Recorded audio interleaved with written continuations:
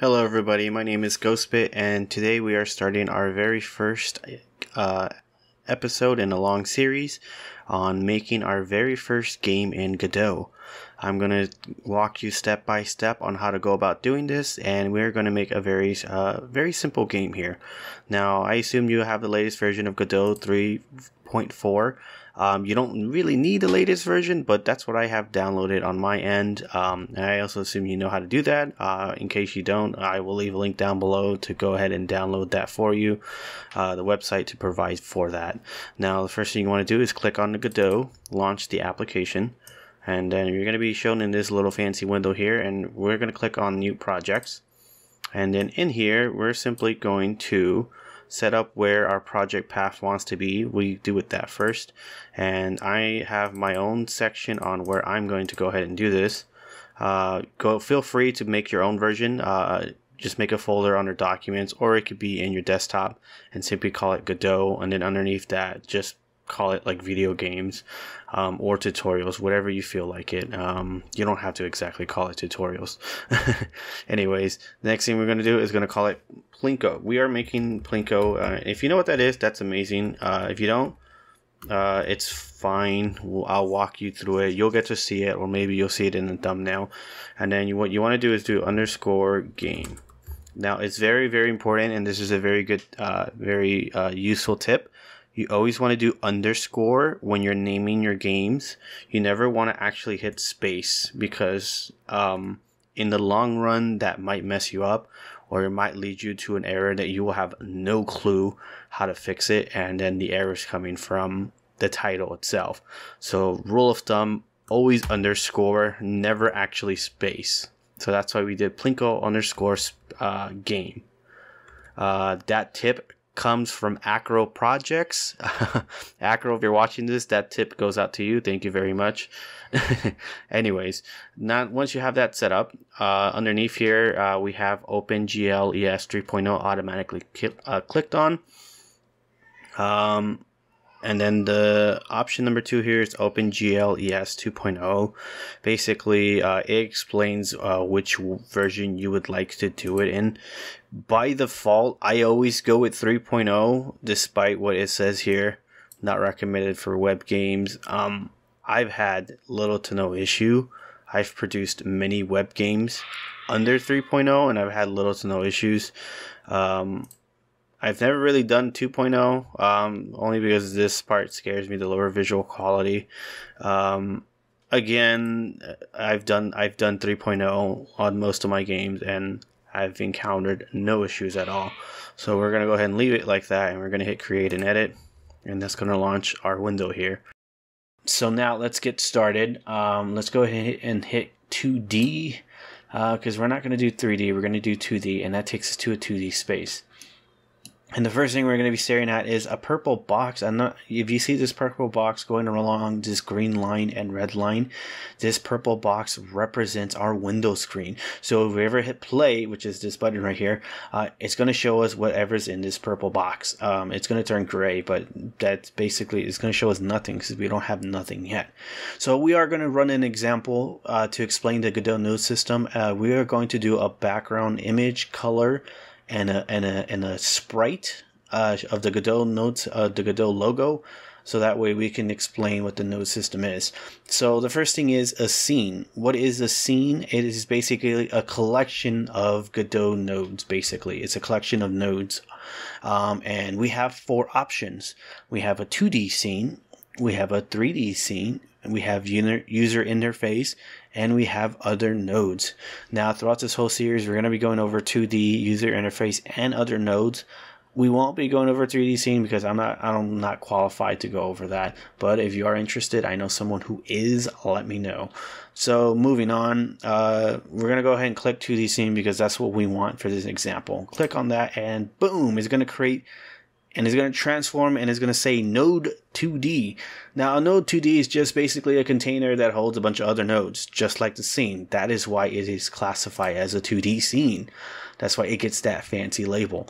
Um, let's go ahead and click on that. And the, so a node is basically a container or a, a container that has a special ability. Each node can do something very unique uh, than another node. And if you combine certain nodes together, you can make a video game. That's that's how I interpret what a node it is. Uh, that's the basic of it. Uh, that's stripping it down and putting it in basic terms. Is each node has a special ability to do something to help you along in making your video game. So uh, it is our job to find which nodes we need to construct, put together, so that way we can make our game. So uh, we are going to do our first example for that, and we are going to make uh, a simple image with a background. It's very easy to do. Um, so if you're staring at this, it is it is titled the parent node, and then underneath the parent node, while, it's highlighted, we can assign children. If you hit this plus button right here, it says add child node, and if you hit that uh, plus button, it leads into a big listing of nodes. And now this is insane. You don't need to learn all the nodes. It uh, that that'll be bananas if you ever do. By the way, um, you're a beginner and you need to only learn a certain amount of nodes just to get started. And we will be going over all the nodes that you need to get started, of course. So, um, but once you've learned and you felt like you've made a couple of games, um, feel free to go look up all the nodes and see what they do. You can just hover over them and then they'll just tell you what they do in basic terms right there. See? Okay. You're to hit cancel for now. Now, you're asking yourself, parent no, children no, this is all too much. Some of it is not making sense. Um, I am going to explain in a different term. Now, now, when I first learned about this, I will admit I didn't understand that as well. I came up with a very unique way to understand the node system, and a good way to see it is um, I like to call it the job system. Now, I'm going to be uh, I'm going to be going over that in a second. Let's go ahead and construct our scene. So we are node 2D, or we can call ourselves the main boss. And our job system, that's something I've created to help me understand the node system, is we are in charge of making a scene with an image. That is our job, and we need to go ahead and make that happen. So we are going to go ahead and add children, or as I like to say, we're going to go hire some employees. Now, the first employee we need to look up and hire is an employee who has the ability to show us a blank uh, like a, a blank canvas so that way we can draw our image. So you want to go ahead and hit in the search bar type up color rect uh, right there and it's already highlighted when we type in color rect and there he is and he and this node has a special ability and his job description uh, we can he can summon a colored rectangle so, like I said before, every node has a special ability, and that's what this uh, node can do. He can summon a, a, tang- a, a, blank rectangle, and we could do anything out of it. So hit create, and voila, we have a blank blank rectangle just sitting right there in the corner. That is fantastic. We want it, it to fill up the whole screen, and remember this purple border represents our window. So right now he's just only covering a very small percentage. If we click and drag this orange that's in the corner, it goes and it fills it up. It is okay if you go past the purple square, that is fine. But now, voila, we got a blank canvas. But our job is almost done. Let's go back and highlight our boss we now need to hire an employee whose special ability is to show an image. So we're going to hit this plus button again. We're going to delete color rect. And now we're going to search on the job search uh, an employee who can do that. So we're going to hit sprite. That's what we're going to type in. And we have two candidates. We have an animated sprite and a sprite. Remember, we only need to hire one of these two. So if we look up animated sprite, his job description says sprite node that can use multiple textures for animation. So if this was the job field and I was reading his resume, he is technically overqualified. we can't hire him because we only just want to show one single image, and he has the ability to show multiple images and even animate them. That's fantastic, but we're not trying to do that. We are just simply trying to get a simple image done. So unfortunately, we're going to pass on you animated sprite. We're going to look up sprite and he does just that general purpose sprite node. He is hired. Let's go ahead and hire him. Hit the create button, and voila, we got. We're not seeing anything uh, because that's why we need to tell him to do it. So as the boss, we're going to command him to show us an image. Now this is where the inspector windows come in, and the inspector window basically shows you what each node can do. So uh, the color rect, as uh, let's look at color rect, and we're gonna look now. There is tons of properties here, but we're only gonna focus on just the thing we need. And on the first tab here, it shows color. So if we click on the white box, it's gonna summon this color bar. Now, if you've ever used Photoshop or anything similar, you are very familiar with this is. You drag hold and then you drag the bar up here and then you can basically pick any color image I'm gonna go for like a turquoise color um, there you go. And then voila we got our image and we have a color background. That's fantastic. I'm gonna be a little picky but a little dark. Uh, feel free to pick whatever color you want. Um, that looks good. Maybe a little blue. No let's leave it like that. There you go. No, wait, wait. There you go. Okay, I'm gonna I'm gonna be here all day. okay, that's what the inspector does is it gets us to use the node to its full advantage. It gets us to use the node's abilities uh, the node's job basically. So if we click on sprite we're going to go ahead and we see texture. Once again there's a bunch of other options. Do not worry about that for now. We're only focused on this first bar texture.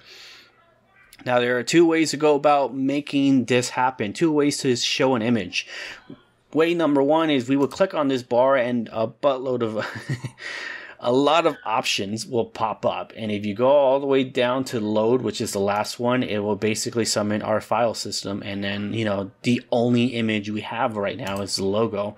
You'll simply click click on that and then voila it, it gets the job done.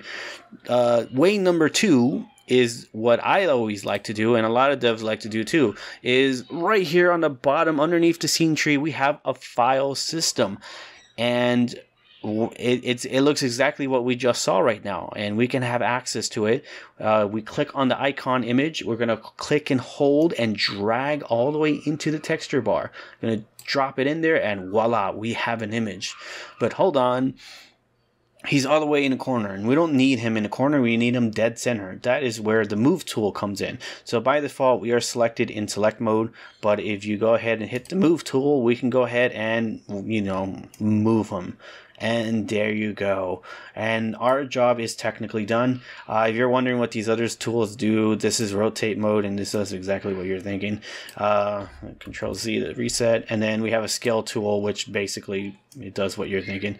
Uh, it scales the image and makes it very, very large. Uh, we don't need to do that. Um, that is all that we need to cover in terms of what's up here.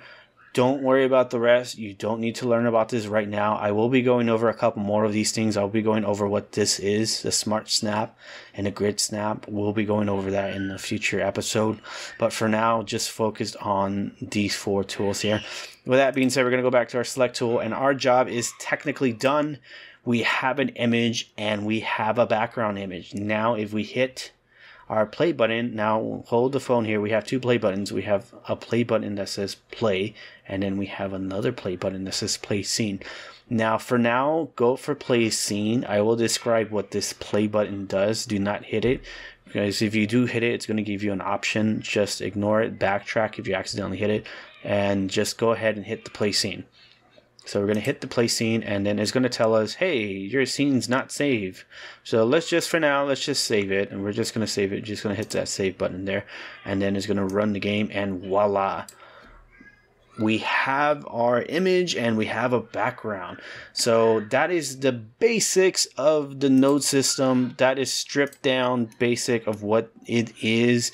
Again, I am going to go in full blown details and in action. We're going to use more nodes and stuff like that in the future to make our game. Um, so if you didn't pick it up, if you didn't get my example, if you didn't like the whole job system example, you can literally swap out what I said with just parent and child node and it, it, works the same way honestly but like i said i decided to go over uh, and explain in the in my own unique way is because that's what helped me understand it. And maybe it might help you understand the node system way more quicker than what is given when you first learn Godot through the website, which is the parent and the child node. Um, but hey, we all learn different ways. So that is it. We, we need to do one more thing before we leave and before we end this first part. We're going to click on res here. We're going to go back to our file system. We're going to right click and do new folder. And we're going to uh, title this. Scenes. Right click again, new folder, sprites. And then one more time, right click, new folder, scripts and we are basically being organized that's the beauty of godot is you get a chance to be organized nice and clean we have a scenes folder and it does what you're thinking it can hold scenes and hey we have a scene called main boss go ahead and click and drag that into the scenes folder and voila we're a little more organized the script will hold all our gd scripts we'll um, we'll go ahead and mess with that later on and uh, the last one is sprites. All of our assets are going to be added onto here. In the next part, we are going to start with doing just that. We're going to add assets. I have pre-made assets for you. We're going to add onto that and we're going to get started. We're going to make a very simple game. Uh, this first video, this first part was just basically explaining the node system and the scene system. If you if you're still confused, go ahead and comment down below. But like I said before, this isn't the only time I'm going to explain this. I'm going to explain this all over again in the next video uh, as we go along and make our game. Uh, I do hope you learned something. Uh, go ahead and hit comment if you have any questions. Make sure you like and subscribe. I'm going to have a lot of other feature tutorials. We're going to make more than just this beginner level. I do have another game we're going to create after this beginner series that picks off right where we will leave off of this tutorial series. So you want to make sure you're subscribed because we're going to be making more than just a simple Plinko game. We're going to be doing uh, much, much more. And again, I'm going to provide all the assets for you so you can go ahead and download. My name is GhostBit. Uh, I will see you on the next video.